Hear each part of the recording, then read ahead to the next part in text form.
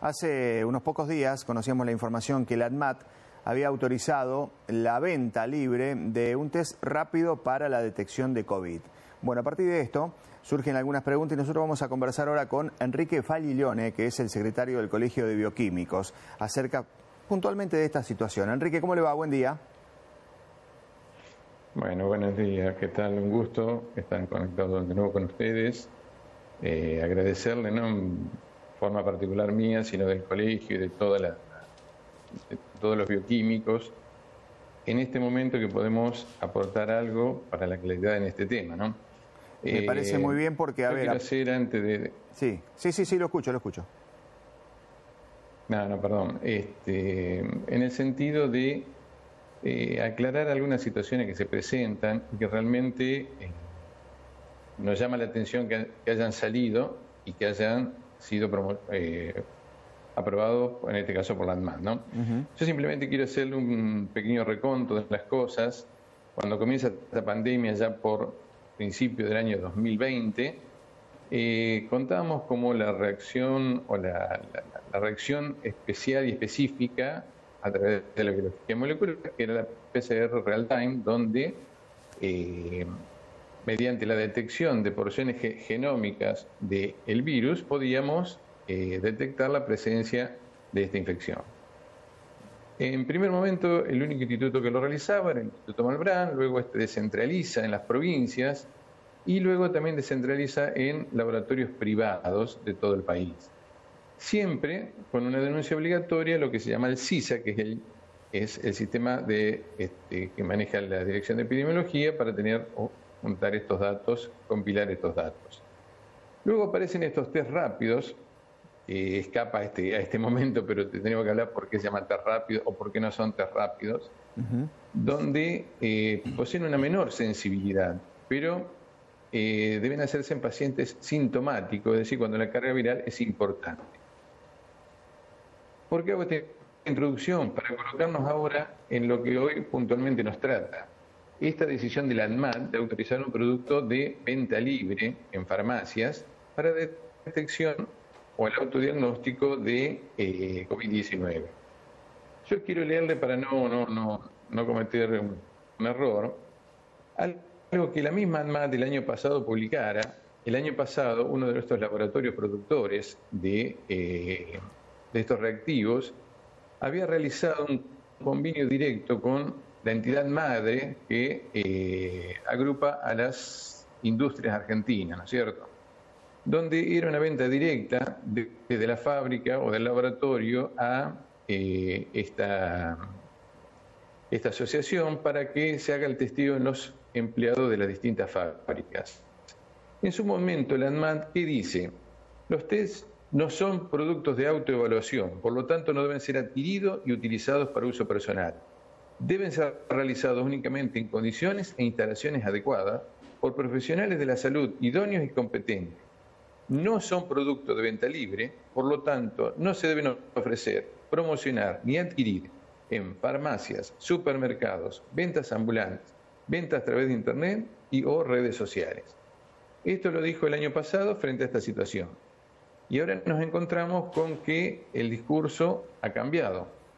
Claro, hay como una especie de contradicción entre lo que se dijo el año pasado y lo que aparece ahora como información. De esto tiene cuatro o cinco días esta información que aparecía que, que el ADMAT ha autorizado este test rápido, que además genera una expectativa eh, en la gente porque sabemos todo lo que ha generado la, pandemia, Enrique, y, a ver, eh, hasta a veces se confunden los síntomas, eh, mucho más en esta época. Entonces, ¿esto qué, qué, puede...? Me parece que la, luz de alerta se enciende en esto, ¿no? En decir, estamos en una época muy particular del año donde la gente va a salir a la farmacia o a los lugares de venta libre para poder comprar un test rápido sin saber ni siquiera, primero, la veracidad y segundo eh, cómo se utiliza el mismo.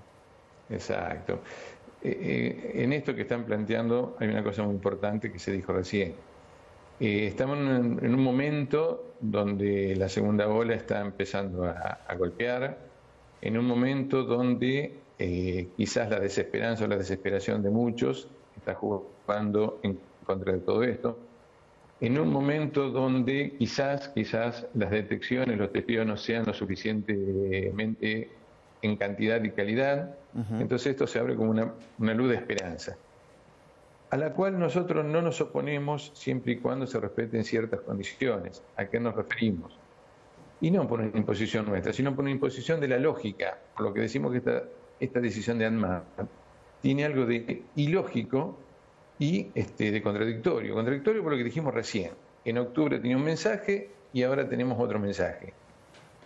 Es ilógico, ¿por qué? Porque va contra la forma coherente de realizar, contra la lógica, ¿no? Yo quiero decirle que este producto tiene una leyenda en el prospecto donde dice que el ensayo debe ser realizado por un profesional. Consulta el laboratorio clínico más cercano para que, para que realice el ensayo.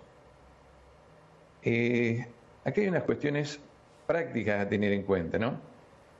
Dice para que sea realizado por un profesional, lo cual está reconociendo que esto no es un autotest, que no lo podemos hacer en casa yo mismo, comprarlo y realizarlo.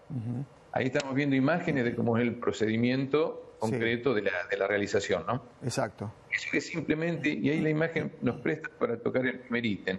Vemos que esta persona que está realizando el test no está, como puedo estar yo en este momento de chaquetas, sin protección. Estamos viendo que está con un, con un equipo de guantes, con una vestimenta especial. Convengamos que la toma de muestra tiene sus particularidades, ¿no? Ya sea un hisopado nasal o faringio, no es simple el colocar un hisopo en esos lugares, ¿no?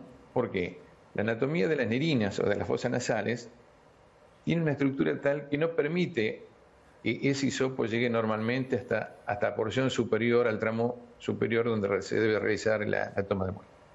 Por lo tanto, si es una muestra de baja calidad, el resultado posiblemente sea de baja calidad.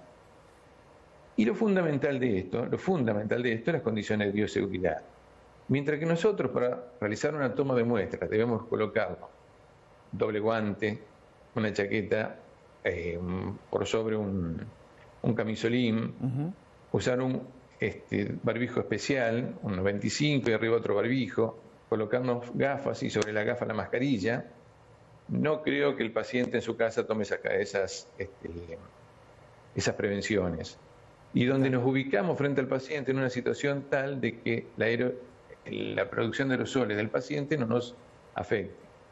Por lo tanto, yo creo que estas condiciones ya están marcando la primera, la primera, la primera cuestión que marca la diferencia que se puede tener en un laboratorio habilitado de un paciente que con la mejor buena voluntad en su casa, y en esto vuelvo a recargar, la mejor buena voluntad, no creo que hacerse su mal, la mejor buena voluntad trata de realizarte, realizarse este autotest. Y le hago una consulta que tiene que ver con, la llegada de este autotest a Santa Fe. ¿Ustedes tienen conocimiento que está aquí en venta ya o no? Eh, bueno, hemos tenido llamado al colegio de al menos tres profesionales bioquímicos, colegas, uno del interior y dos de, la ciudad de Santa Fe, donde han ido pacientes con este, este kit comercial. Eh, los tres tuvieron la misma respuesta. Eh, hagamos la cadena desde, el importador hasta el paciente. Del importador hasta a la farmacia, suponemos y sabemos que se cumplen las condiciones de trazabilidad, es decir, que se conserva y llega a la farmacia en muy buenas condiciones. Ahora bien, ese paciente adquiere este reactivo y va hacia el laboratorio. El bioquímico no sabe en qué condiciones ese reactivo salió de la farmacia y fue trasladado hasta el laboratorio. Si mantuvo las condiciones de este, conservación, si no fue, eh, por ejemplo, eh, que haya estado al sol o que haya estado bajo cierta radiación, en lo cual altera. Es decir, el bioquímico al cual se lo lleva no cree que no, no lo va a realizar porque no sabemos la trazabilidad de ese vial que llega a nuestra Está nuestras manos. Sí conocemos el que nosotros adquirimos en las proveedurías y en los lugares destinados a la venta de reactivos, no el que me trae el paciente.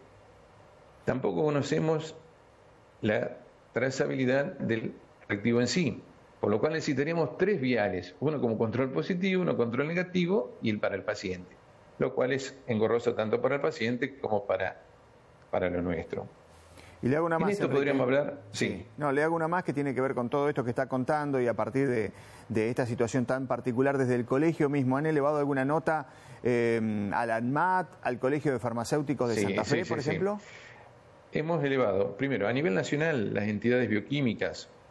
Convengamos que nosotros formamos parte de la coordinadora de Colegio Bioquímico de Ley de la República Argentina. Somos entidades deontológicas, no facturantes, ¿no? Junto con otras entidades como Cercubra, Calab, este, hemos elevado una nota y un recurso administrativo a la ADMAT pidiendo la prohibición de la venta de estos reactivos. Puntualmente nosotros en la provincia de Santa Fe, en nuestra circunscripción, hemos elevado una nota a la ADMAT, Delegación de Santa Fe, al Colegio de Farmacéuticos y este, al Ministerio de Salud. Eh, ayer teníamos previsto una reunión con, las autoridades del Ministerio de Salud, no se pudo realizar, supongo que se realizará hoy, donde plantearemos en estos temas en una forma más este, explícita y no con una nota, ¿no? Y, si me permitís o si me permiten, les robo un minuto en algo que es importante, dos puntos más que lo quiero tocar y voy a hacer lo más rápido que pueda para no, no, no, no ocuparle el tiempo de ustedes. Eh, nosotros para realizar esta determinación tenemos que estar inscriptos en lo que se llama el CISA, que es el Sistema Integrado de, Información Sanitaria. ¿Qué es el CISA? Es el lugar donde nosotros remitimos todos los resultados.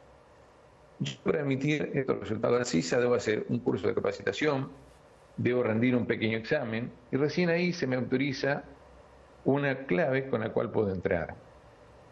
El 30 de marzo del, 2020, mediante la resolución 680, el Ministerio de Salud, acordémonos que el 20 es donde se toman las medidas, el 20 de, de marzo del año pasado donde se toman las medidas, el 30 de marzo el Ministerio de Salud emite una resolución donde al COVID o al SARS se lo cataloga como enfermedad de denuncia obligatoria.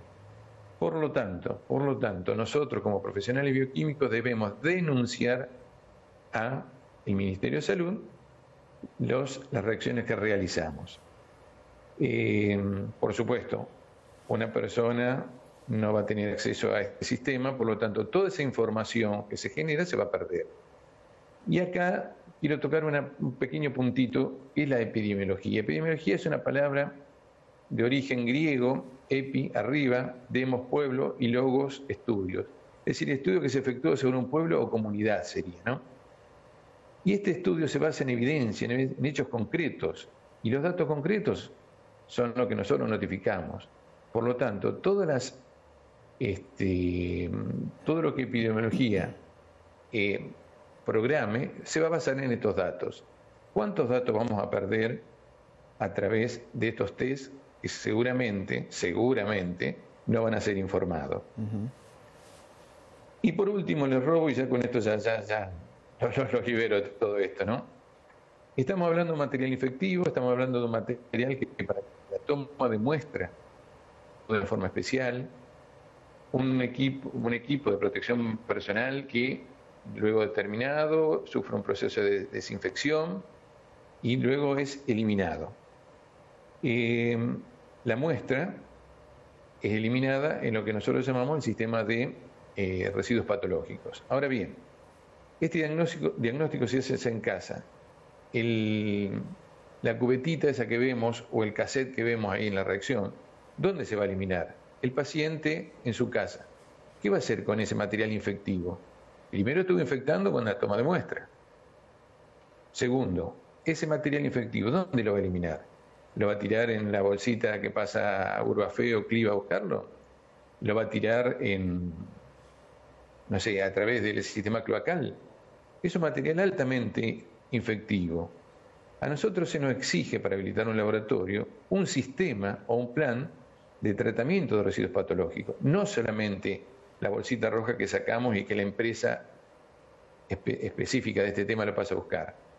Tenemos que, primero, anotarnos a la municipalidad como generadores de residuos patológicos, con lo cual tiene un canon que, que abonamos. Eh, debemos generar la menor cantidad de residuos patológicos. Debemos acondicionar los mismos hasta ser buscados por esta empresa. tenemos que decontaminar, tenemos que tener un almacenamiento adecuado, una cabina especial, tenemos que preparar para el retiro por parte de la empresa, labrar un acta donde recibe la empresa. Por lo tanto, que esto es un plan que cada laboratorio tiene implementado. No podemos entonces en casa, luego de hacer esta atracción, eliminar como si fuera algo más en, los residuos este material altamente efectivo. Me parece clarísimo. Creo que está clara la postura, además, Enrique, y, me parece que está bien que, mm, de parte de ustedes, de parte del colegio, esto quede expuesto, quede claro también. Digo, en el medio de esta desesperación que produce la pandemia, en el medio de la sobreinformación también, eh, tenemos que manejarnos eh, de manera prudente en este tipo de situaciones, porque si no pueden tener consecuencias que mm, pueden llegar a ser muy serias. Yo le quiero agradecer el contacto. Le prometo que lo vamos a seguir al tema, porque recién usted decía que más allá de las notas van a tener reuniones eh, con autoridades y esto nos parece importante para, poder continuarlo. Nuevamente, gracias por, eh, el tiempo dispensado. No, gracias a usted. Simplemente decirle que hay provincias que se lo han prohibido. Córdoba, La Rioja, Mendoza, Chaco, se han prohibido la venta de, estas, eh, de estos kits. Bueno, agradecerles de nuevo. Saben que el colegio está a disposición de ustedes. Eh, para lo que necesiten. Y simplemente lo último, y cuando hablo de laboratorio, hablo de bioquímicos, técnicos y personal administrativo y limpieza. Eh, ya llevamos un año y un poquito más, el personal está cursando una especie o un estado de, de, agotamiento y de, y por qué no de estrés. Bueno, invitarlos a seguir trabajando, nunca hemos bajado la guardia, nunca hemos dejado caer por estas cosas. Hemos tenido lamentablemente en nuestra zona, en nuestro lugar, en nuestra circunscripción, cinco bioquímicos que han fallecido, otros tantos que han quedado con lesiones importantes, pero bueno, el bioquímico siempre va a estar presente en este proceso de salud de enfermedad. Así que gracias por, estos minutos y, estamos a disposición de lo que ustedes quieren de nosotros. Muchas lo gracias. Mismo, ¿eh? Lo mismo de este lado, que tenga un buen día, Enrique, muchas gracias. Enrique Falilone, que es el secretario del Colegio de Bioquímico. Me parece que ha sido claro en cuanto a esta información que se conoció hace cuatro o cinco días acerca del autotest, como se lo denomina para la detección del COVID.